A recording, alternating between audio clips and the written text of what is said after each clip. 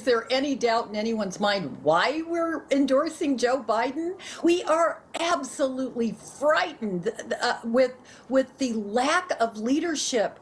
Uh, I, I'm speechless, and I and I give a lot of speeches with what we we're seeing coming out of, of this White House. It's chaotic, it's dangerous, and, and we can't say this enough. Please, parents, from Donald Trump. That is never going to end well. And we have seen what happens when people are cavalier with this dangerous pandemic. We saw governors opening bars, and we saw those bars uh, packed with young, uh, young people who, who should have known better.